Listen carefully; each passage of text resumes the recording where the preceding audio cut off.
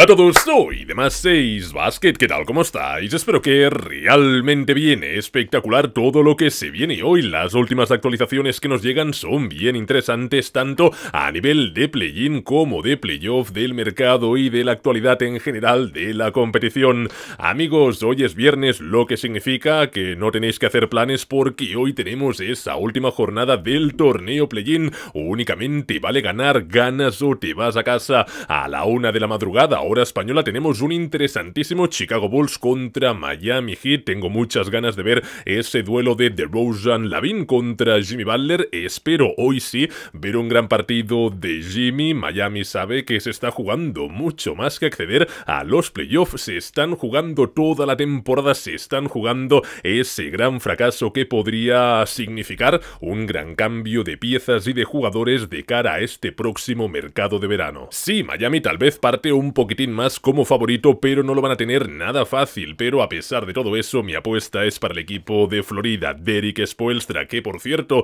quien acabe ganando ese partido entrará como octavo clasificado, lo que significa que se verá las caras en primera ronda contra los Milwaukee Bucks. Eh, Dios mío, después de tanta lucha, encontrarse contra Antetokounmpo y compañía debe ser un sentimiento bastante, bastante doloroso. Y luego quiero destacar dos cosas. La primera, que una compañía de vuelos le ofrece pues vuelos gratis a la hija de DeRozan para que pueda asistir a ese partido y pueda utilizar su gran técnica de esos gritos que se te meten dentro de la cabeza y acabas fallando todos los tiros libres. Y la otra es que también, aparte de ese duelo que hemos mencionado de DeRozan contra Butler o Lavin contra Butler, tenemos el gran duelo emocional ¿eh? de Kyle Lowry contra DeMar DeRozan, dos leyendas de los Toronto Raptors que ahora mismo están en equipos diferentes, pero que ambos juntos en Canadá nos regalaron grandes momentos. Y después, a las 3 y media hora española, será el turno del emocionante Thunder contra Timberwolves, que por cierto, Minnesota sigue sin saber si Rudy Gobert jugará por culpa de unos problemas que tienen en la espalda.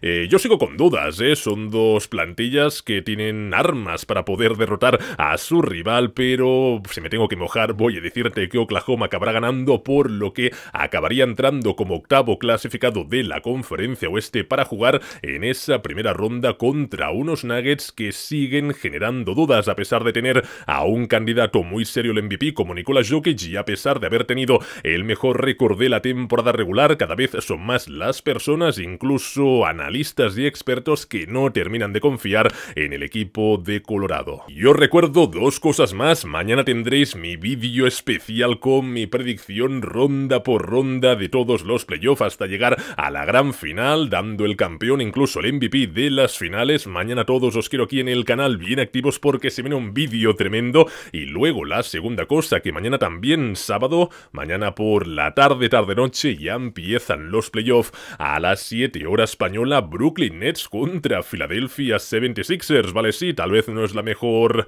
ronda posible, pero creo yo que Brooklyn puede poner un poco las cosas complicadas a los Sixers de Embiid y de James Harden a las 9 y media Atlanta Hawks contra Boston, que no se relaje, Celtics sí son muy favoritos en esta eliminatoria, pero Trey Young si tiene una noche inspirada, cuidado con eso, a las 12 Knicks contra Cavaliers, mucha, mucha igualdad, y finalmente para cerrar ya ese menú de una primera jornada bien intensa, Warriors contra Sacramento Kings, estoy súper emocionado. Y quien está especialmente emocionado es Golden State por esta última buena noticia que han recibido a Andrew Wiggins ya tiene la autorización, ya tiene el ok para jugar el Game One contra Kings, es decir, para jugar ya mañana, información del medio de Athletic, y es que Wiggins, amigos, no sé si lo recordáis, seguramente sí, ¿eh? Que fue un hombre muy importante, una pieza muy importante del último campeonato del equipo de San Francisco, esperemos ya que pueda aportar todo eso que te aporta sobre la pista en ambos lados eh, del partido, ¿no? Tanto en ataque como en defensa, y quien también está muy pero que muy contento es Mike Brown. Sí, amigos, el entrenador de Kings ha sido nombrado como mejor entrenador del año por la Asociación de Entrenadores. No es el premio oficial de la NBA, pero igualmente es importante. Y bueno, amigos, que acabará ganando también el premio oficial de Coach of the Year. Cero dudas. Siguiendo con reconocimientos y premios, se han filtrado muchos supuestos votos para el rookie del año. Todos Paolo Banquero, Paolo Banquero, Paolo Banquero, menos uno que se ha ido a Walker Kessler. Curiosamente, Ese periodista, ese votante es de un medio que cubre a los Utah Jazz, por lo que ha habido polémica y tampoco, amigos, podremos tener un rookie del, del año que parecía unánime, ¿eh? Bueno, mira, es lo que hay. Más cosas, el importante periodista de ESPN, Zach Lowe, compartió su mejor quinteto ideal. Aquí hay mucho debate porque tenemos a varios candidatos, jugadores que merecen estar, pero al final únicamente pueden entrar 5 en ese club tan y tan selecto. Pues tendríamos a Shea Gilgus Alexander, Donovan Mitchell, Jason Tatum, Giannis Antetokounmpo y finalmente Joel Embiid. Os recuerdo que de cara a la próxima temporada ya los mejores quintetos serán positionless, es decir, que no tendrán posiciones por lo que sí que podríamos tener a Nikola Jokic, ¿no? Es un poco triste que Jokic, seguramente el jugador que terminará segundo en ese MVP, termine en el segundo quinteto ideal. Y esto también es muy pero que muy interesante. Alan Han reveló su top 5 de jugadores que necesitan ganar un anillo esta temporada sí o sí, ya de manera urgente. El ranking ya lo estáis presenciando aquí en esta imagen. Nikola Jokic, Chris Paul, Joel Embiid, James Harden y Jason Tatum.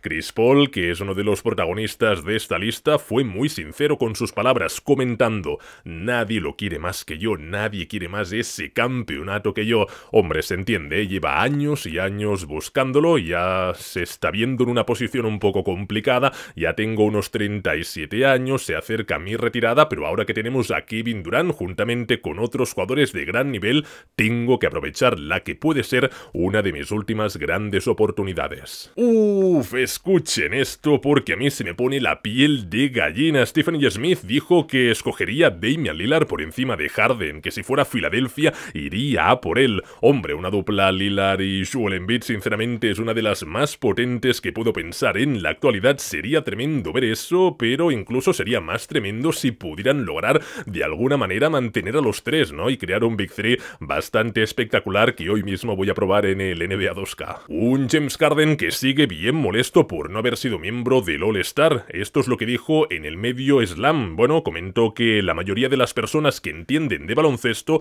saben el valor que tengo, pero algunos ya se han aburrido de mis números. Yo voy a decirte que James Harden merece más amor del que tiene actualmente. Lo han dejado ya en un segundo plano, en un tercer plano, de una manera bastante injusta. Bueno, claro, como ya no anota 40, 45 o 50 puntos por partido, pues la gente se piensa que ya no es valioso. James Harden sigue siendo bien importante y bien bueno. Y sobre números, esta gráfica es increíble. Hemos tenido a 6 jugadores promediando más de 30 puntos por partido. Es el nuevo récord histórico de la NBA. Repito, eh, por encima de los 30 puntos por partido. Sigamos con algo bien interesante. Así están las nuevas probabilidades de campeonato. Bucks número 1, acompañado de Celtics, Suns, Warriors y luego un empate entre Denver Nuggets y Philadelphia 76ers. Y sobre el MVP de las finales, Giannis Antetokounmpo número 1. Seguidamente tenemos a Tatum, Kevin Durant, luego empate entre Embiid y Curry y finalmente Nikola Jokic. Cada uno tendrá sus predicciones, sus pensamientos, como por ejemplo Nick Wright, que no tuvo miedo a decir que la gran final de la NBA será entre Lakers y Sixers y que los angelinos terminarán ganando. La verdad es que decir Lakers las grandes finales y siendo campeones pues suena bastante irreal. De hecho, un entrenador que permanece en el anonimato dijo que Grizzlies ganarán a Lakers en 5 partidos, es decir, 4-1, porque tienen demasiada potencia y fuego para ellos, ¿eh? Además, no cree que ningún jugador de Lakers sea capaz de defender, de frenar a Jamoran. Información de The Athletic. Venga, va, vamos al mercado. Se espera que Fred Van Vliet rechace su opción de jugador de 22,8 millones con los Raptors, pero todavía el jugador no está listo para tomar esa decisión, o para tomar, más bien dicho, una decisión. Información de ESPN seguramente quiere más tiempo para pensarse bien las cosas y mirar bien su futuro. Pues nada, tendremos que seguir bien de cerca su situación y también la situación global de unos Raptors que después de este fracaso de temporada necesitan reforzarse sí o sí. Desde el medio Clutch Point sugieren el nombre de Chris Middleton, que tiene una opción de jugador, pero todavía tampoco sabemos si la aceptará, si renovará, si se marchará o si tiene en mente abandonar a Milwaukee Bucks. De momento no parece, pero en la NBA ya sabéis que todo puede acabar sucediendo. Y hablando de refuerzos, esto es increíble, no sé ni cómo etiquetarlo, el plan genial que propone Fade Away Wall para que Blazers tenga un super equipo y Damian Lillard pueda ya ganar el anillo. Primero de todo, conseguir al interior Nash Reed con un Sign and Trade en el que estaba metido Narkic y otras piezas, luego conseguir a Draymond Green con un Sign and Trade por Jeremy Grant y otros elementos y aquí viene lo fuerte, crear otro pack para conseguir a Jalen Brown por lo que el quinteto definitivo sería Damian Lillard, Sharp, Jalen Brown, Draymond Green y Nash Reed. Bueno, eh, en el 2K tal vez esto lo puedes conseguir, pero en la vida real lo dudo. Fans de Wizards que estáis preocupados por si Porzingis acaba saliendo del equipo, pues tengo buenas noticias para vosotros, eh, tranquilidad. El gigante letón comentó que se siente como en casa aquí, que ama la ciudad y ya está. Información de Athletic, tiene una opción de jugador de 36 millones que se dice que la podría rechazar para firmar luego una extensión más larga y más grande con esta franquicia, un escenario que obviamente está sobre la mesa seguramente. Y varios me preguntáis por Dallas, ¿tenemos alguna novedad de su mercado? Es normal, ¿eh? Que estéis impacientes y queréis ya ver refuerzos después de esta mala campaña. De momento, pues únicamente hay pura especulación, rumores y comentarios, nada oficial. Por ejemplo, he llegado a leer el nombre de Pascal Siakam. Y continuaremos con una curiosidad. Luka Doncic, Jason Tatum, Shea Gilgus Alexander es el primer trío de jugadores de menos de 25 años. Tatum ya cumplió 25 hace poco en anotar al menos 2.000 puntos desde la temporada 2005-2006 cuando lo consiguieron LeBron James, Dwayne Wade, Carmelo Anthony y Gilbert Arenas. Cuidado en New Orleans, sigue aumentando la tensión, esto es lo que dijo CJ McCollum después de la eliminación de Pelicans. Tenemos que estar disponibles, tenemos que hacer fuera de las pistas pues lo que tenemos que hacer, ¿no? En términos de preparación, en términos de recibir el mejor tratamiento, de dormir bien, de hidratarnos bien, de tener la dieta correcta. Y yo me pregunto, y muchos de vosotros y todo el mundo se ha preguntado, ¿es esto un mensaje para Zion Williamson? Pues bueno, es una posible lectura que podríamos hacer. Y antes de cerrar, vamos con la sección. Hoy una gran pregunta que nos trae Shaquille O'Neal, que la publicó en sus redes sociales. ¿Quién ganaría el equipo formado por MVPs de los 90 o MVPs de los 2000? Shaquille O'Neal dice que ganaría el de los 2000 4 a 2. Yo 4 a 2 no lo veo, tendríamos un séptimo partido sí o sí. ¿Y quién ganaría? Lo veo muy igualado, sería un partido duro, un partido físico, pero te voy a decir el equipo de los 2000, pero... Tengo dudas, ¿eh? Bueno, cracks, hasta aquí el vídeo. El vídeo que ayuda a ir sacando más. Un abrazo para todos y también un saludo para Freddy Santiago, Francisco Castro, Dani, Joshua, Alex y Ricardo Sandoval. Un abrazo y nos vemos muy pronto.